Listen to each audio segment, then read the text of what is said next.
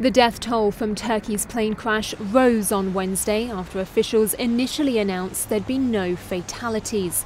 New grainy security footage showed the plane skidding off a wet runway at high speed.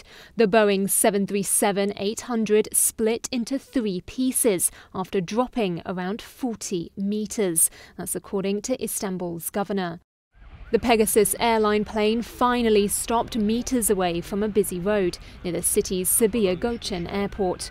Turkey's health minister said 183 passengers and crew were on board the flight, with some dying from their injuries in hospital.